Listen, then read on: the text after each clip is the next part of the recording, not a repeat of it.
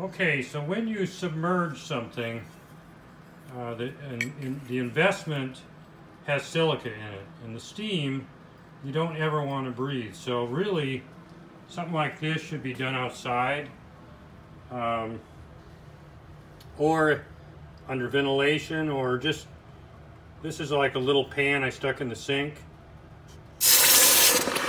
And see that steam? You don't want to breathe it in.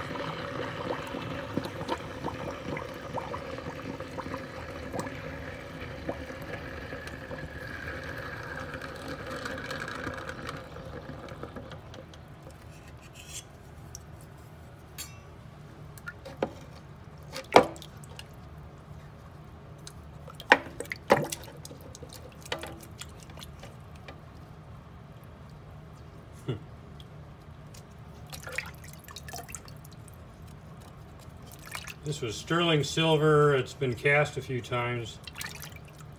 And it's not really cleaned up.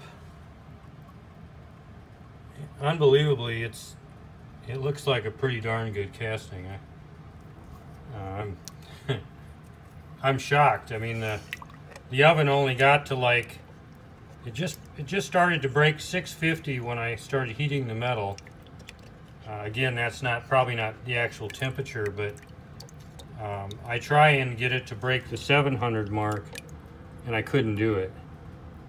But at the same time, uh, it looks remarkably good. I once I get it cleaned up, and of course you can see the sprue that's on there. I didn't probably didn't quite have enough metal, uh, but that will help identify it after it's been really cleaned up and then you can you can see it again so uh, I'm pretty happy. All right. Thanks everybody